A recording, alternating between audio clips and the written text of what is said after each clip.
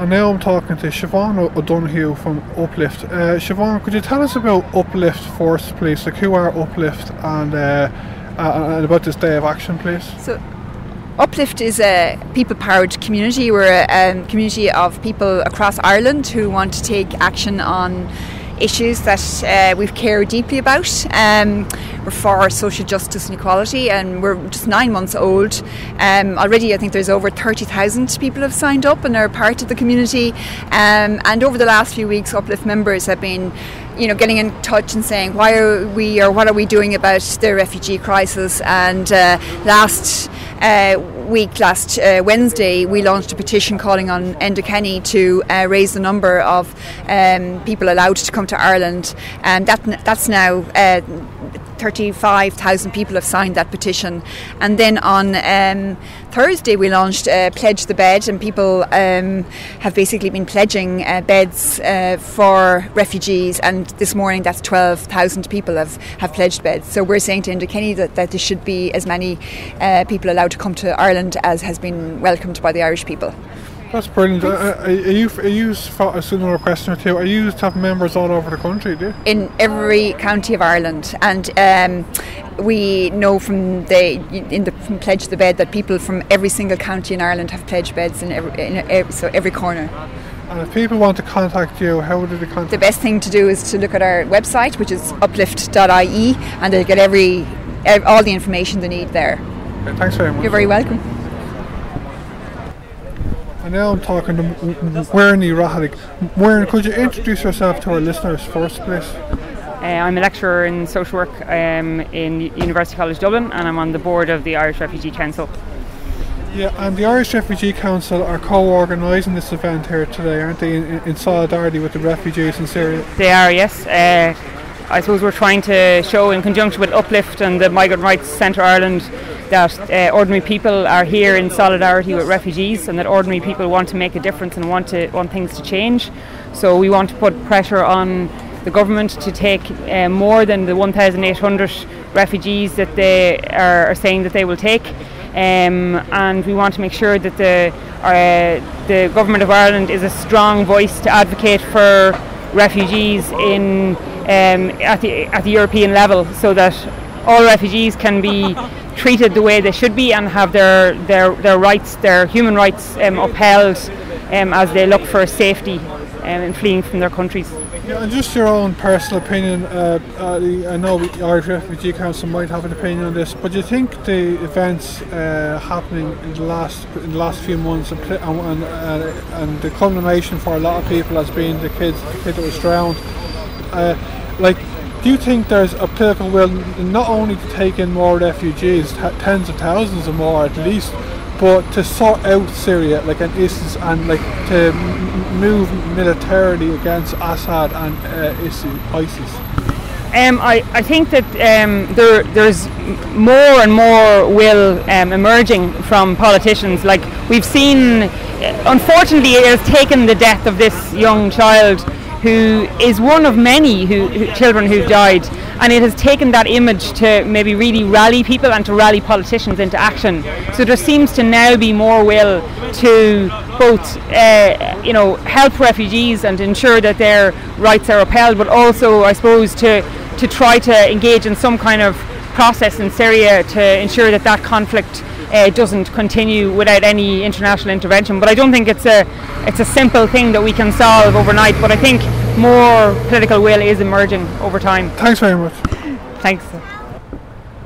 Anish Tom McCain, where in the Rahalik O'Corla Dejan in here we're in Crossáú an bhfuin lemuid le chéile cúpla ó hena faoi hefig díán ní agus táid sin seo ag an lá lú farteachta leis na tefiig atá uh, ggéú nó ggéirú éile an ggóga satíria agus cúpatíir eile Can í thum chóirla díide na faoin sce seo Lisco. Well is sto gur gur is géirchéime seo agus is géirchéime faoi um, faoi daine, so faoi maná, faoi fér, faoi pátí faoi leanaí óga, agus tá feice agin gohfuil you know, leanaí agus daoine fást ag fáilhá sé géirí tuachtasteach go dtí an éanta sópach. Um, tá siad ag tefa ó áitna nó bhfuil cogaí ú fásacha agus cai si tefiú chun éirtíanamh a héla bháilt.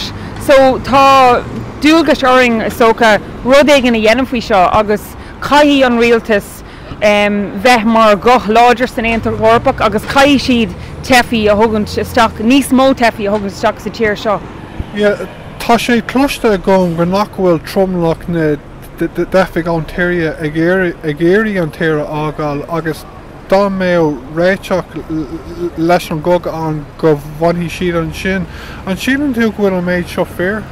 Le sílan bhfuil an méid sin fér um, Maidir le tefií go generalta agus gothir sogus a tíria. Níl daoine nuair smíonn tú ar daine an air, níl muidir géirí an tíir seo ágal an chud is módúing ach má tá cogur i a hir agus tá dohéal agus saoal de fátíí mhil Bei tú cai tú dul cai tú de hir ágáil. So cinnte níhioch daoine ag fágáil an tíria um, sna slúte in a bhfuiltíí a leiad um, dámioch an tíir sin um, sláán le bheith an.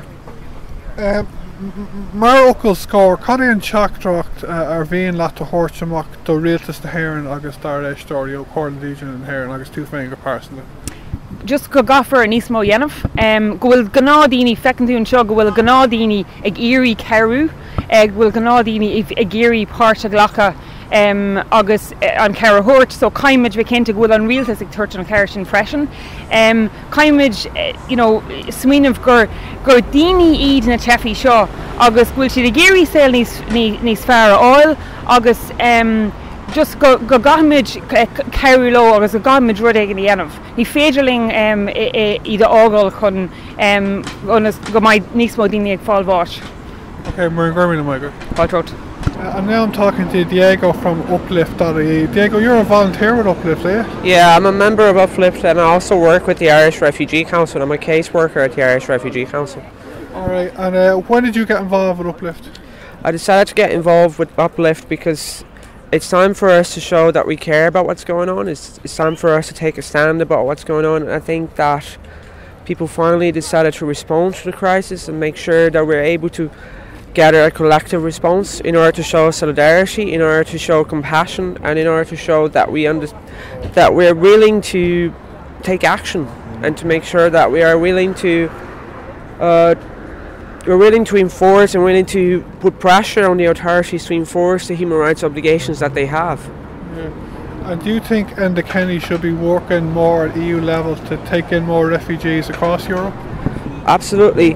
We started a campaign recently where people could pledge beds, and we got more than 4,000 people willing to offer spaces and willing to offer beds or accommodation or any sort of help for refugees or asylum seekers that are coming to Ireland. So, if people are ready and if people are willing to accept that, and people are if people are willing to be part of a bigger deal, and I think that Enda Kenny also has the responsibility to take more people into Ireland, and he has the authority to do it.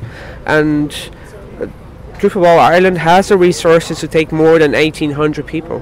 No A chuá tú a féidir féint dún céim támatáirt agus céim fá gur tháinig tú in seoinniu?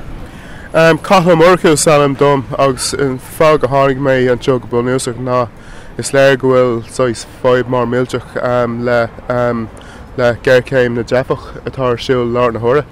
Um, tá is ceist óbháí seogus ní féidir neamhhardaí éana bhar a heile agus um, féile daoine sa cé da na bheith compáda agus méohhaach ná réire le ní leon éú an ceisio go bun úsach. Um, gothir um, tíir nó Mericágus an bhratan agus um, an rank agus lá na seán improchttaí sin siad an trééis stolamón cogiochta uh, i dúsceart na Hafrica agus sem meán éair agustá sí trééis tíre agus socha scrisan sin ar nós tíir nó an Afghanistan an Iraq. Um, Libya agus Syria agus is sinní na tíirthe bhfuil is mó bhfuil daine ag éúháid marhear an sois tolscris tá déanta ag an sois um, ag na sois ónathirí ar na tíirthe sin. So agus freisin tá sé tá sé um, tá sé tábta go dagamaid an seo ag cé an chosam sé cé teach an chosam mar go bhfuil sois dealahhéin na déintar cumára nó chuimniú ar na sois chefií airnacha a déala gas airn le lin an, an, an tuchar smór. So ba ceartún bheith ólach um, you know, um, trád a raibh go raibh muide sa, sa chás chéine. Yeah, agus mar ook scór cadíon cheachtrocht a be bhíon leat a hort sa ina chéine agus an réalach sort of comparison a faoi. Um, an trachttar is smá buúmsa a chur um, chocu stocan ná um, chun uh, méid smó dhéanam chun ceú le, leis na, leis na tafií. Bé é sin é chud iwwer níos mó a thuirteach nó níos má airgad a chahabh chun ceú leo cibé áit na bhfuil siad agus siadm níos táhtaí ná sin ná caiimimeáis aigethirte ar dam tá níos córa uh, a thógáil agus sa chuí nach deirlách uh, um, cinná ggéircéim seo Tá an ce seo óbhar um, go is gomlan. I go mé mé Falrát. How's it going? Can you just introduce yourself please and tell us who you're from? Hi you doing? My name is Lúgh Ó Braonáin and I work with Human Appeal. Human Appeal is one of the few Irish charities that actually have offices and staff on the ground in Syria. And we work in the camps uh, uh, with Syrian staff trying to give aid and assistance to the families that in the camps that have had to flee their homes from purposes of lack of security, and uh, and, and if now what we think is, has, is after happening is is that basically there are four and a half years in these camps with no food, no proper health service, no access to education, and basically the people in the camps have have effectively run out of patience. They know that there's nothing for them there. They had a terrible winter last year. They know that there's another bad winter coming. So this is their only chance now is to is to is to uh, flee for uh, for uh, uh, to Europe, so that when things settle down, they will be able to go back. But at the moment, it's just not safe for them there, so that's why they're coming here. We've actually had a huge an outpouring of generosity from the people of Ireland in the last. Well, they've always supported our work, but in the last few weeks, it's become fantastic people are just very, very energised and sympathetic towards the refugees here, who are the Syrian refugees who are coming here, and they really want to do anything they can. And we are just overwhelmed by the generosity of the Irish people, you know. And uh, what's your message to Enda Kenny and the Irish government and the other European, the EU in general? I understand how the Irish government is is afraid of what's happened in other countries. There are other countries like Hungary and Denmark where uh, political parties have have made uh, uh, have made hay on the basis of uh, xenophobia. So I can understand where Enda Kenny is coming from. But what he has to realise now is is that the Irish people are demonstrating in their tens of thousands that there is no xenophobia here and that there's in fact a welcome open arms for, for people here, and that all he has to do is recognise that and know that we're willing to, as the people, are willing to take in much more refugees than he's uh, he's he's catered for at the moment, and that they will there will be no political backlash when he does that. There'll be political support, in fact. Díhhuiit cé tátáirt agus cétá do gobar leis Is me Lúgh Ó Braonáin agus tá mé gobar le Human Appeal. Uh, agus tá Human Appeal uh, countanna uh, uh, charities a bháin in éan atá i gobert ar is Syria féin tá tá ebroí agus ifigé ein is Syria just tíhiste den tórin le Turkey. agus tá muidirine i gobar le na IDPs atá ann na daine ó sé arab a tihí ágáil agus dullar na móthir ar cús sóháiltaí agus tá si de fannacht da in isis le ceir blion go le agus tá siad tá in áthúm féin an fáimh ann tá siad chuile blion tá tá tá tá aspa airigid a thuirtóibh agus tá siad inis tá siad tá siad ceir blion go le tíh mu i gampaí agus gan díon agus gan bírbé gan ospedéal gan éonrod agus tá inis tá éis airí miáinú agus sinna fáhú sin fágáil le tír féin. Agus dul just mar tá tá níl feiceá acab tá siad níl éon bí na éon service peblií acab service sláinte so tá si dulb a tír féin a ágáil agus ag tíocht go dtí an orp ag glórig just saoil agus sáháilte duna léon féin. Agus má raibh réiteach polyúil an sa teir an hí an sian tú nach joki fáhhar acu le an seo agus Well sin no, an fáimeta an right? Tá tá tá kin geopolitical rud atáliú right? Agus inis níl níl an ach na dí na gnádaíine right? Agus tá siad sa i lór an rud okay? Agus tá si do ní siad san a fannacht ar kin réiteach politicúil ó geopoliticúil tá siad san just a ggéire just rud siimplíí teach sáilte de clown féin so Seanis gur tá si de tíocht an seo go dtí gur soraíon choileród sios is Syria agus tá si sáil dollarráis. tá na Syrians right, tá tír ínta acab, you know? Tá si hálan tá go leir resources chuil da, right? agus is tír intamáta an agus tá si de hí hí servicesí idirchas ínta acab rih an coga anéis tá si géir just tepa an seo gotí gofuil choród socr a ríiste na tíir féin agus fi si ráis go cínte fi si ráis a bháile nuair tá choród socra a ríis agus sáháilte. Gormí Fiber be, fiber be. chunáú ag cé tanna atáhairt agus an féidir rá dún cé fá bhfuil tú an seo le há? Seán réí an dom agus tamín seo chun brú chuir an rialtas níos mó tefach achracha inéan. agus ará leo go bhfuil uh, poblbal na hhéann go bhfuil si uh, chu fáinse mhór rih na tefií ó na tíre éagsúla go háirithe ón tíria. Agus an sílan tú go bacóra do na Kenny a bhád níos nó obair a dhéanamh leis a cód lethe sa Europa. Ba chóir ba chóir dó é féin a chur os chóir winna hhorpa agus ará le go bhfuil muitine in éan ansáasta le níos mó tefacha a thugta seo. Tá daine forinint an tail is mó atá mar aigne as mé dola lí san ihe ná an buchail óg sin ina lí ar imime na tíide.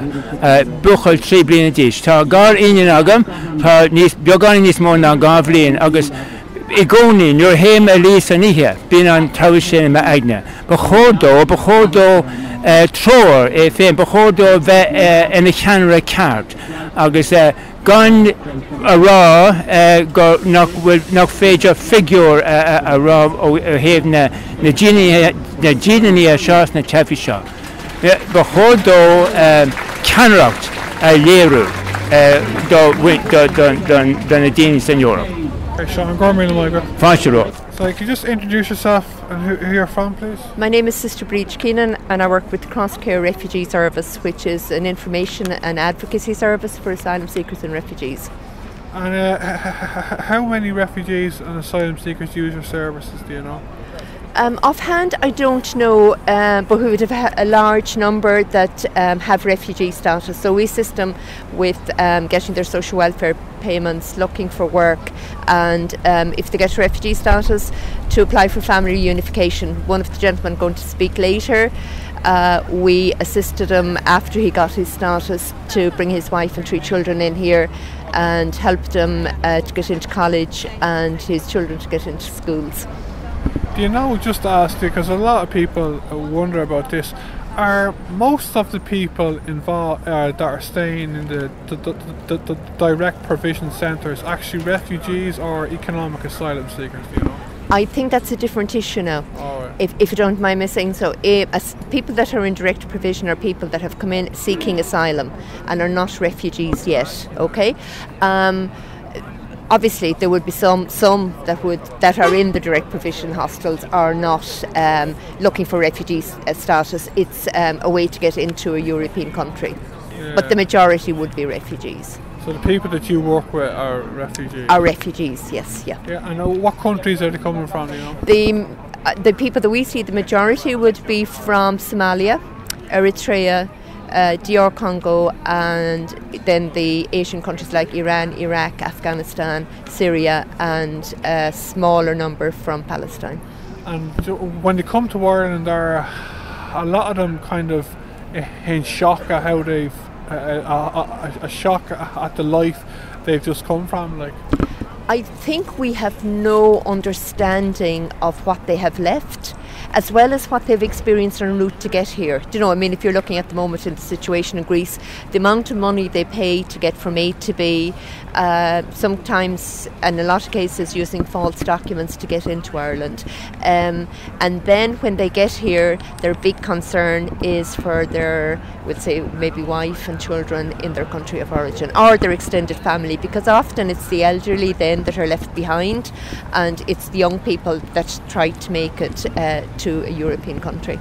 Uh, just, uh, just, just last question. Um, what's your personal message to Enda Kenny and the government and uh, Europe and the EU about uh, what we should do with the Syrian refugees? Think um, that the government should bring in um, people from Syria pretty quickly, not putting it on the long finger. I think the number is quite small, but it's not just about numbers, it's actually giving them a safe place, um, give them refugee status straight away, not to put them through the asylum process and try to get accommodation for them and get them um, integrated as quickly as possible. But I think we need to get moving on it. I think the other issue, there is the, the issue, I think, in Syria, Syria itself I mean, if arms and everything else is going into Syria, somebody needs to be doing something about that. Yeah, thanks very much. Okay, thank you, Tarn.